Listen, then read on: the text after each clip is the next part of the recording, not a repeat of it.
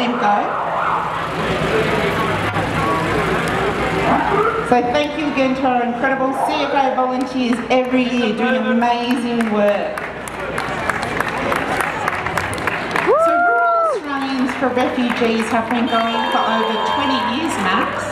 They advocate for refugees and asylum seekers and you see them every Friday at 5 at the roundabout, so give them a two. Rural Australians for Refugees. Here they come, the Hepburn Wildlife Shelter.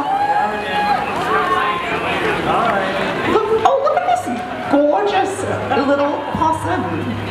The little cutie possum in a tree. What a rascal. The, the Hepburn, give the Hepburn Wildlife Shelter a big clap and make sure you slow down to 70 kilometres an hour between dawn and between